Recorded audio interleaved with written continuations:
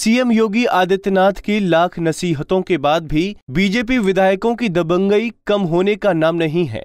मामला हरदोई के जिला अस्पताल का है, जहाँ एएनएम के स्थानांतरण को लेकर मल्लावा से बीजेपी विधायक आशीष सिंह आसू और सीएमओ में कहा सुनी हुई। सीएमओ ने बीजेपी विधायक पर अभद्रता करने का आरोप लगाया है।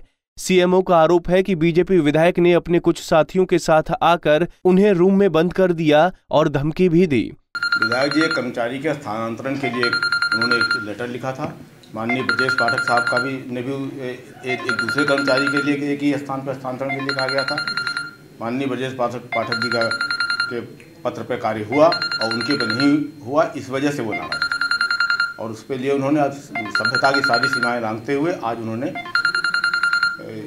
मतलब कमरा सारे हमारे सारे अधिकारियों कर्मचारियों को हमारे मेरे आपके कार्यालय से बाहर निकालते हुए आकर के उन्होंने निकाल दिया और मुझसे गाली गलौज की मुझे जो है धमकी दी उन्होंने। वहीं दूसरी ओर बीजेपी विधायक ने सीएमओ के आरोप को गलत बताया और उल्टा सीएमओ पर अभद्रता का आरोप लगाया। किसने? कोई अभद्रता नहीं की। मेरे तो क्षेत्र की एक महिला थी एनम है उसका कोई पद रिक्त हुआ है उसका परिवार बहुत दूर वहाँ रहता है तो उसके लिए मैंने पत्र लिखा था शायद उस पर नहीं हो पाया तो इसलिए उसकी पैरवी करने के लिए गया था। आरोप लगाया उन्होंने आपके ऊपर कि आपने उनके साथ कमरा बंद किया नहीं मैंने बंधक बनाया कि उन्होंने बंधक बना लिया। अब इससे बुरा समय और क्या आ सकता है? जनप्रतिनिधि को गेट का ताला बंद करवा लिया गया और बंधक मुझे बनाया गया जिस फ़िलहाल दोनों सीएमओ और बीजेपी विधायक एक दूसरे पर आरोप लगा रहे हैं। लेकिन ये तो जाँच के बाद ही सामने आएगा कि किसके आरोप में कितना दम है।